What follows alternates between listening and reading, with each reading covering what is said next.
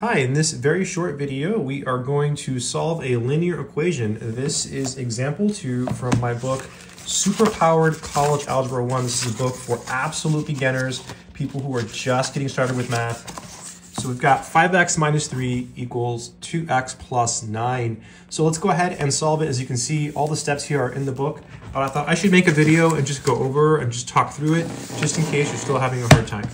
So 5x minus 3 equals 2x plus 9. So we can do this in multiple steps, or we can do it in one step.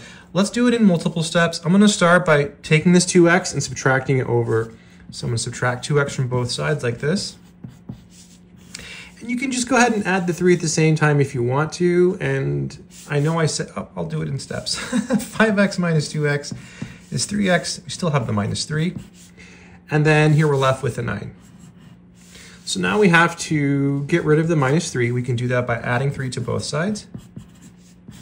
So we get 3x equals, well, 9 plus 3 is 12. And then to finish solving for x, because it's being multiplied by 3, we just divide by 3.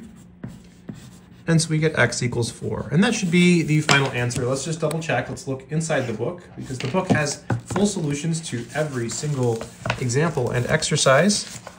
So this was the very first section. This is the easiest stuff in the book.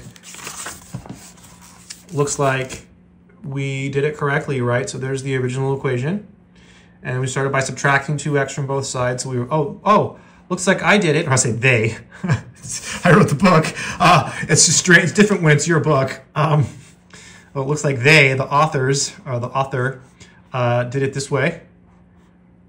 Yeah, same thing we did. Pretty cool yeah, great minds think alike, which makes sense since um, I did it that way originally.